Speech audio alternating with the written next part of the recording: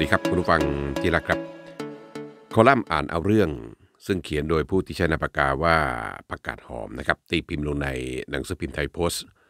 วันนี้ฉบับวันที่ 11 เมษายน ปีพุทธศักราช 2566 นะครับ หัวข้อที่ให้ไว้เนี่ยคือคิดใหญ่แต่คิดสั้น หมายถึงอะไร เริ่มต้นอย่างนี้ครับประกาศหอมบอกว่าน่าจะยังไม่เสด็จน้ำนะครับ คือพรรคเพื่อไทยเนี่ยเขาคิดใหญ่ คิดใหญ่แต่ว่าคิดแล้วไม่รอบคอบนะครับ ที่บอกว่าทำเป็นเพื่อไทยทุกคนเนี่ยมันแปลได้สองความหมาย ความหมายแรกคืออะไร ความหมายแรกคือทำเพื่อพักเพื่อไทย กับอีกความหมายหนึ่งก็คือว่าทำเพื่อคนไทยทุกคนตกลงเนี่ยมันเป็นความหมายไหนกันแน่ครับ คืออย่างนี้นะครับ ปกติเนี่ยพรรคการเมือง เวลาคิดนโยบายเนี่ยมันจะต้องตกผลึกก่อน ให้เรียบร้อยก่อนเลย แล้วค่อยมานำเสนอกับสาธารณะ แต่ว่านโยบายแจกหัวละหนึ่งหมื่นบาทของพรรคเพื่อไทยเนี่ยมันเหมือนกับนโยบายที่จะไปตายเอาดาบหน้านะครับพูดง่ายๆ ก็ดูเอาสิครับ หลังจากที่กกตหรือว่าคณะกรรมการการเลือกตั้งเนี่ยเขามีการทวงถามเรื่องที่มาของเงินที่จะใช้ตามนโยบายเนี่ยปรากฏว่าคำตอบจากพรรคเพื่อไทยคืออะไรรู้ไหมครับคำตอบคือกำลังรวบรวมข้อมูลอยู่ครับ วันนั้นเนี่ยชนน่านสีแก้วก็ตอบแบบ ทรงเดชคือขอไปทีเนี่ยพูดง่ายๆผ่านมา3าสี่วันแล้วเนี่ยก็ยังไม่มีรายละเอียดอะไรเลยจากพรรคเพื่อไทย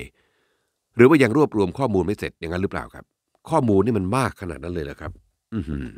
พรรคเพื่อไทยเนี่ยยังทำข้อมูลไม่เสร็จ แต่กลับนำเสนอนโยบายที่เสี่ยงพาประเทศลงเหวก่อน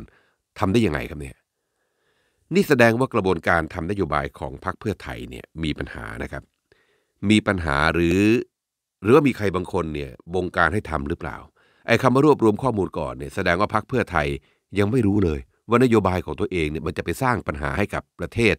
สร้างปัญหาให้กับอนาคตของคนไทยได้ยังไง เพราะอะไรครับ เพราะยังไม่มีการวิเคราะห์ถึงข้อดีข้อเสียยังไงนะครับ ที่สำคัญเนี่ยยังไม่รู้เลยซ้ำไปว่าจะเอาเงิน5้าแสนล้านบาทเนี่ยมาจากไหน ฉะนั้นเรามาดูที่มาที่ไปของนโยบายนี้กันก่อนก็แล้วกันนะครับ ผมย้อนกลับไปอย่างนี้ กลับไปเมื่อวันที่ 17 มีนาคม พรรคเพื่อไทยเนี่ยเปิดนโยบายใหม่ ภายใต้แคมเปญที่ว่าคิดใหญ่ทำเป็นเพื่อไทยทุกคน ที่มหาวิทยาลัยธรรมศาสตร์ศูนย์รังสิตจำได้ใช่ไหมครับ วันนั้นเนี่ยเศรษฐาทวีสินประกาศว่าอย่างนี้ บอกว่า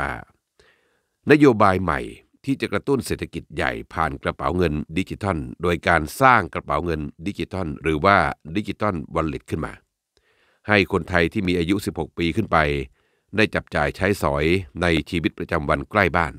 พร้อมกับเงินติดกระเป๋าที่รัฐเนี่ยจะแจกให้กับทุกคน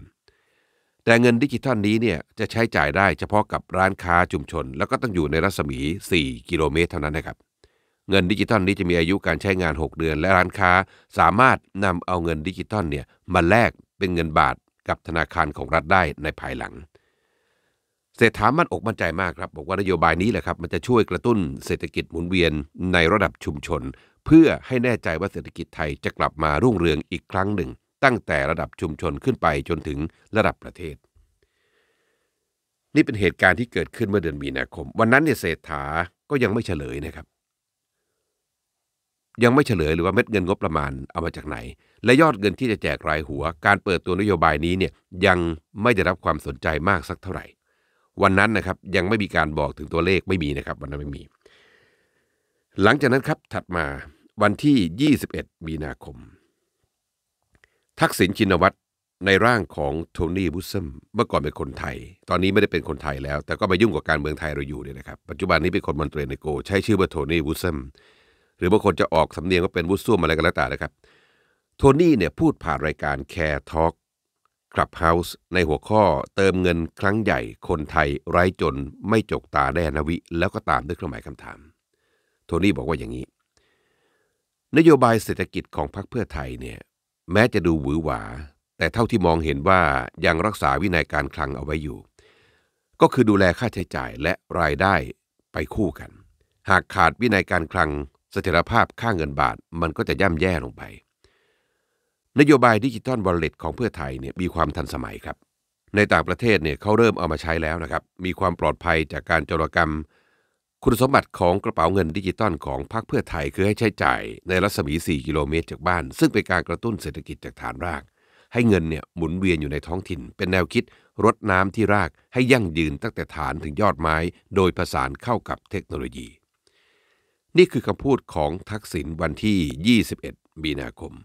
แล้ววันนั้นเนี่ยทักษิณพูดถึงตัวเงินเอาไว้ชัดเจน บอกว่าอย่างนี้ครับ ทักษิณบอกว่าผมไม่อยากให้ประชาชนเนี่ยอยู่อย่างยากลำบาก อยู่อย่างไร้ศักดิ์ศรีความเป็นมนุษย์ ในช่วงแรกจึงต้องอุดหนุน 20,000 บาทต่อครัวเรือน ควบคู่ไป เพื่อไทยมาเราเริ่มศึกษาสภาพของคนไทยให้อยู่อย่างมีศักดิ์ศรีความเป็นมนุษย์ พร้อมกับการสร้างรายได้ควบคู่กันไป และพอรายได้ทุกครอบครัวเกิน 20,000 บาทต่อเดือนเนี่ย ก็ไม่ต้องอุดหนุนต่อแล้วครับ ถ้าเกิดเขาอยากอุดหนุนน้อย เขาก็ต้องเร่งเครื่องให้คนไทยเนี่ยมีรายได้ให้มากโดยเร็วที่สุด นโยบาย digital wallet เนี่ยต่อยอดจากบล็อกเชนที่เปรียบเสมือนกับเครือข่ายอินเทอร์เน็ตด้านการเงินการออมนั่นแหละครับ จะมีลักษณะเป็น smart contract คือกำหนดระยะเวลาในการใช้ไปจนถึงระยะทางที่ใช้ได้ อย่างเช่น ต้องใช้ภายใน 4 เดือน ภายในรัศมี 4 กิโลเมตร ถ้าเกิดทำผิด smart contract ก็ไม่สามารถที่จะใช้เงินได้ นี่คือคำพูดของทักษิณชินวัตรนะครับ เห็นภาพชัดนะครับ ชัดเจนขึ้นเยอะเลย ชัดว่านโยบายประชานิยมสุดขั้วเนี่ยมันเกิดยังไง แล้วก็มาเกิดจากใคร หลังจากนั้นก็มีเสียงวิพากษ์วิจารณ์กันมาตลอดนะครับ ว่าทักษิณเนี่ยครอบงำพรรคเพื่อไทยหรือเปล่า แต่ก็ยังไม่ชัดเจนนะครับ ว่าจะจัดการกับกรณีแบบนี้ได้ยังไง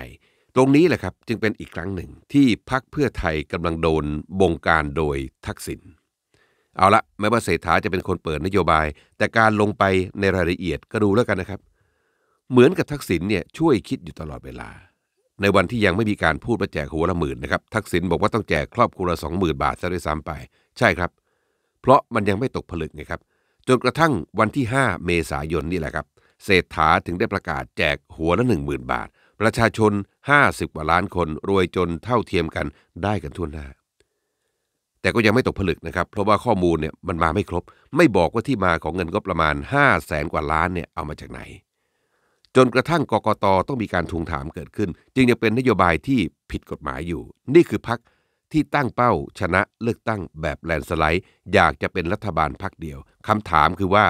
แล้วพี่น้องประชาชนคุณผู้ฟังที่รักทุกท่าน เอาไหมครับ